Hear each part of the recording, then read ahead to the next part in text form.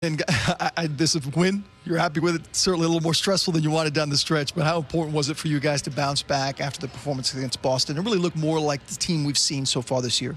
I mean, it's very important to have games like that. Obviously, having championship aspirations, like, you know, you're going to run into games like that. So it doesn't do anything but build our group and make us stronger. So, um, you know, it's good to have games like that early on and get it fixed.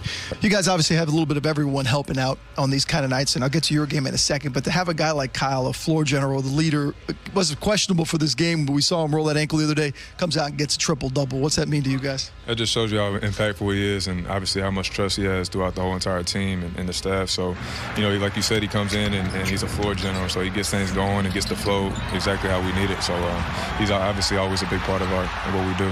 For you, it's an interesting role because you're a guy that's played in this league a few years now and you usually have a defined role. And on this team, night in and night out, it kind of changes that role. How's it like for you preparation-wise where, hey, you don't know if this night you're going to be asked to do this or this night you're going to do that. Tonight it was scoring a bit with the nine points. Yeah, it's, uh, it's kind of fun and challenging, you know what I mean? Uh, so like you said, you just don't know what you're kind of walking into, so I always got to be ready to, you know, either get on that uh, on the defensive end or bring a little bit of energy on the offense. But um, I like it. It doesn't do anything but build my game. So.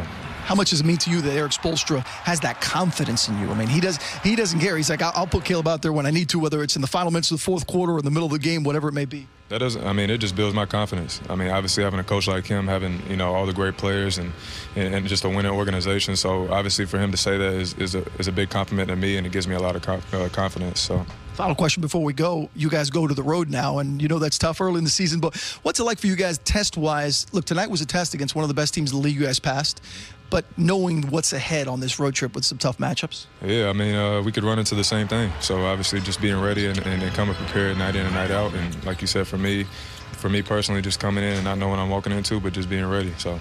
Okay, great night tonight, and uh, good luck on the road. Appreciate that. You got Caleb Martin with the performance stat. We'll send it back to you guys.